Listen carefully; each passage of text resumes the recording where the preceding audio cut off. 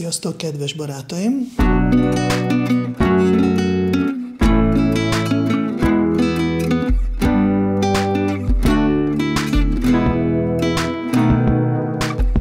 Minden epizód elején egy kicsit mesélek, hogy hogyan csináltam én, és utána mindig mesélek, hogy mi történik eh, szervezetileg, és mit tapasztaltam.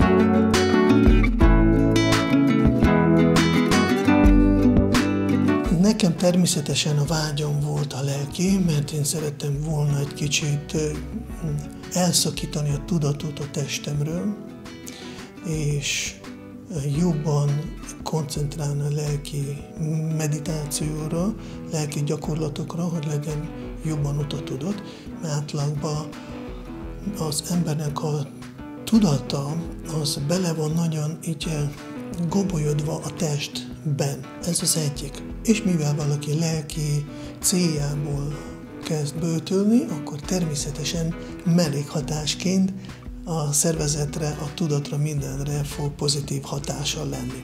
Igen, azt döntöttem, hogy fogok ilyen tíz nap bőtőt tartani, és csak iszok, és ittam teákat, de tapasztaltam, hogy nem annyira szervezetem méregtelenít. A Jurveda szemszögből nem ajánlott több mint négy napos bőt. Miért? Azért, mert a ember szervezetében van tűz, a emésztő tüze, és ez az emésztő tűze el tud aludni, és hogyha elalszik a tűz, akkor nagyon tudni kell, inkább mondjuk szakértő segítségével kell kezdeni újra begyűjteni ezt a tüzet, szóval újra megtörni a bőtölés és elkezdeni étkezni, az nagyon óvatosan kell, mert veszélyes következményei lehetnének. De hogyha valaki tapasztalattal és tudással rendelkezik, akkor nem probléma. Lényeg a lényeg, akkor elkezdtem bőtölni. Minden nap volt természetesen kísértés. Na jó, akkor ma azért egy kicsit lehet enni. Ma egy kicsit eszek. És fontos volt, hogy határozott vagyunk mi, vagy nem hogyha mi határozottak vagyunk, mert döntöttünk, hogy nem, nem fogok enni semmennyit, semmelyik napon, akkor kitartók.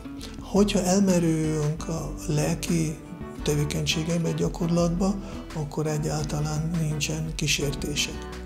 És ma beszélek egy kicsit, mi történik a test szinten, hogyha valaki nem eszik.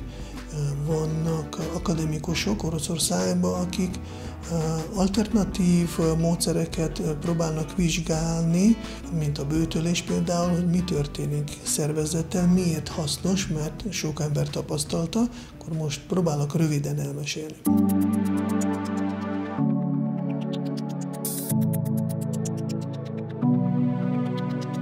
Amikor táplálkozik valaki, akkor az idő, bizonyos időben a vér elkezd szállítani a gyomorból vagy a vékony bélből a tápláló anyagokat a sejtekben. És a tudósok ezt a vér állapotot, amelyik szállítja a tápláló anyagokat, úgy neveznek, hogy éhes vér. És akkor itt szállítja a vér minden sejtben mindenféle táplálékot. De amikor ember nem eszik, a vér szintén szeretne szállítani az anyagokat.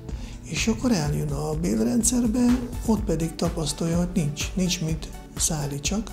Akkor azt tapasztalták, vagy a kutatások azt mutatták a tudósoknak, hogy ilyenkor a vér ugyanúgy éhes vér marad, ezért a funkciója megváltozik. Akkor ő el fog menni a szervezetbe, a sejtekbe, onnan kiszedi az anyagot, á, sokszor ez toxinok, és visszaviszi a gyomorba. És akkor így a szervezet keresztül reggel, mikor megy ember mosdóba, akkor eltávozik a méreganyag. Szóval így a szervezet önmagától méregtelenít, hogyha valaki nem eszik. Azok, akik eh, próbálták, írjátok kommentekbe, kipróbálta, akkor biztos tapasztaltatok, a negyedik napra jön sok-sok energia, sok erő, ember nem tud úgy elfáradni, ami általában szokott fáradt lenni, hanem sokkal jobban és tisztábban gondolkodik, felfogása van, és több az energiája. Ayurveda szerint akkor kell abba hagyni a bőt. Na most én egy kicsit tovább bőtöltem, és majd erről következő epizódba fogok mesélni, és mik történtek velem utána. Köszönöm szépen, természetesen most is szeretnék megkérni ezt az ingyen segítséget, hogy írja, iratkozzatok fel a csatornára, lájkoljatok a videót, és a csengő gombot nyomjátok meg. Majd folytatjuk. Köszönöm szépen. Hare Krishna! thank you